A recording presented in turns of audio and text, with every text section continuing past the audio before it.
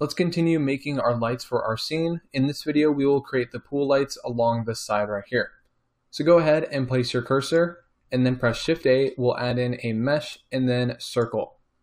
Rotate this circle 90 degrees. So press R, X, 90 and then enter.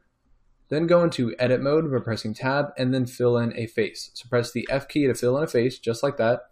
We'll go back into object mode and scale this down. Next, go into side view by pressing 3 on your number pad, and then we'll position it inside, inside the pool area, so right about here.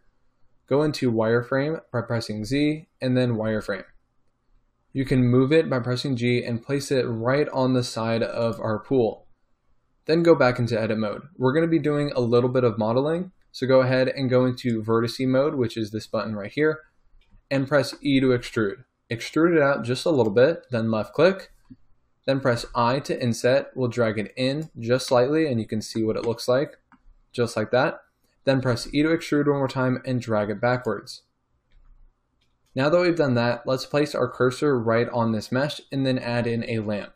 So press Shift S and go cursor to selected. And you can see our cursor is now right there. Then press Shift A and go to light and then point lamp. The size is a little bit big, so I'll go ahead and drag the size of it down until it fits the width of that interior just like that. We'll go ahead and press period on our number pad to zoom in on it and then I'll press G, Y and drag it out till it's in the front. The strength of this I will set to 5 for now, we might change this later. And then for the color, I'm going to give it a nice blue color somewhere around here. Let's go into camera view and see how bright this is. So press 0 on your number pad then I'm going to press Control B and draw a box around the light.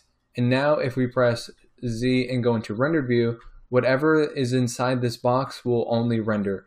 And whatever is outside, you can see everything is not rendering. It's only rendering what's inside. So now let's zoom in and see what this looks like. I think that's a pretty good light source. We don't really need to change it. Maybe go up to like, let's go with six, maybe just a little bit brighter. And I think that looks good.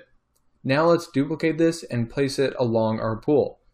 So go back into wireframe by pressing Z and go into wireframe and then select both the, the circle that we created and the lamp. You can press B, middle mouse button to draw a box around this to deselect it. And now let's position it. Go into top view by pressing 7 and we'll zoom out. Press G, X and move this just slightly. Then press Alt D X, and place it right in the middle. Then press Alt D one more time, X, and move it along. You want to make sure that these are spaced out uh, evenly. So maybe this one actually needs to, I'll deselect that. Maybe this one needs to move over just a little bit, right about there.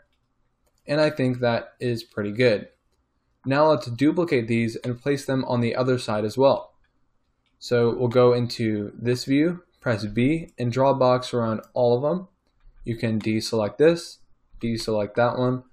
Now if we go into, oh hold on, we need to also select that lamp right there. Go into top view, press Alt D, X, actually Y, and drag it down.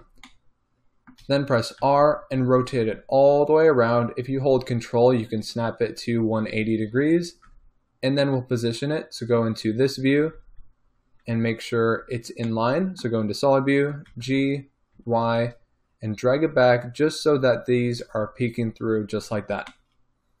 Now if we go back into camera view and we press Control B and draw a box around the entire pool, then Z, wireframe, we should be able to see all of the lights. And that is looking pretty good.